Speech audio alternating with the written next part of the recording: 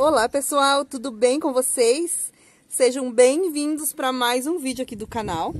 No vídeo de hoje eu vim falar para vocês um pouquinho dessa lindona.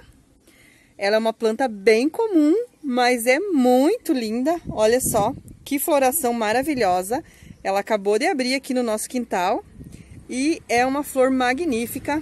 Olha só os pelinhos, essa textura aqui em alto relevo que ela tem, ela é uma flor lindona. Os botões dela também, olha só. Ela tá cheia de botão para abrir. Tem aqui, tem aqui. Aqui dentro também, deixa eu ver se consigo mostrar para vocês, ó. Ali, ó. Tem dois botõezinhos. Aqui também, atrás da flor, tem outro botão. Aqui mais um grandão. E essa linda flor aqui. Essa é a estapélia hirsuta, conhecida popularmente como cacto estrela. E ela é muito linda.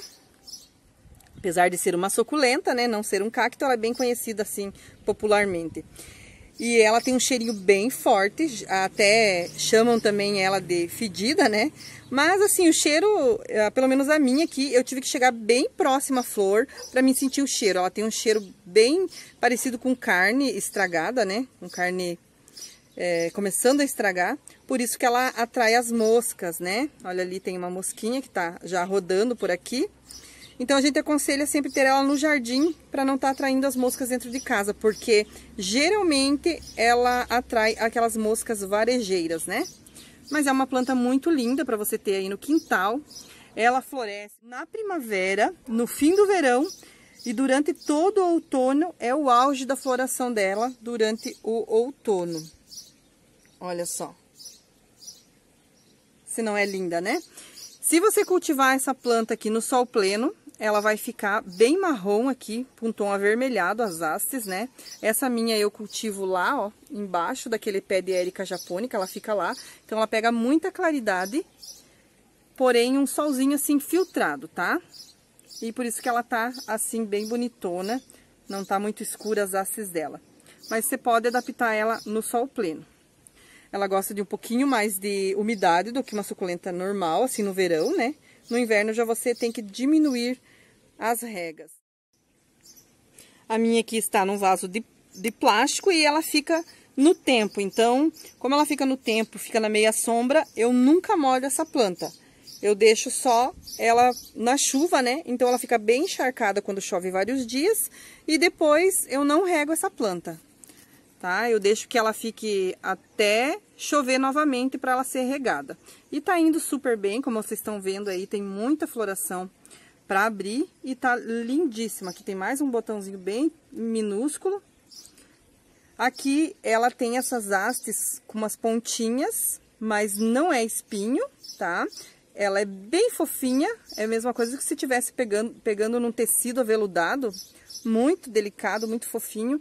E o botão também tem um toque assim aveludado. E é uma planta maravilhosa, se você gosta de flores exóticas aí no seu jardim, essa é uma boa escolha. Além de ser linda, ela é uma planta comum e baratinha para você ter aí enfeitando o seu jardim. O que, que vocês acharam dessa minha estapélia? Ela não tá linda, pessoal? Tá maravilhosa, né? Aconselhável é você estar tá trocando o substrato dela a cada dois anos a minha aqui eu troco cada dois anos. O vaso aqui ainda tem bastante espaço para ela crescer. Então vou demorar um pouquinho para trocar.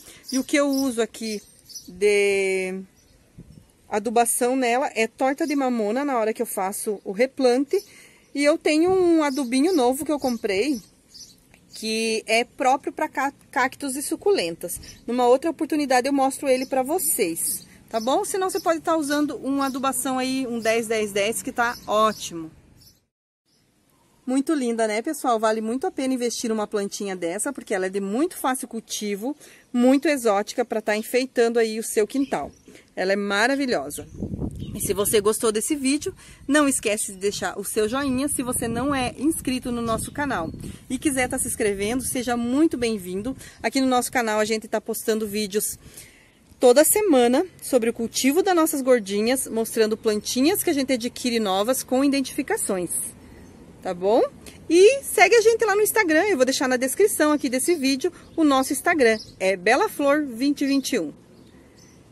Beijo no coração de vocês então, até o próximo vídeo e tchau, tchau!